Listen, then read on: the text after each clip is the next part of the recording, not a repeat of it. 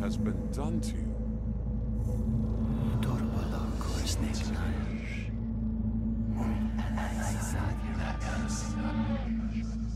Kneel before your king.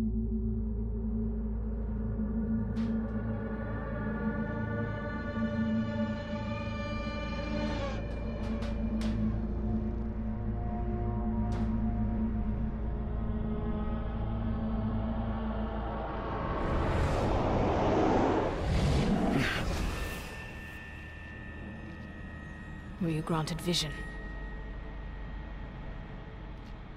Yes. Then you understand. These were once great men, but they could not resist a ring of power. Sauron's rings were designed to subjugate their wearers.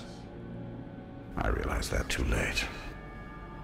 But now, I have crafted a ring that is perfect. This one is pure. Pure what, I wonder.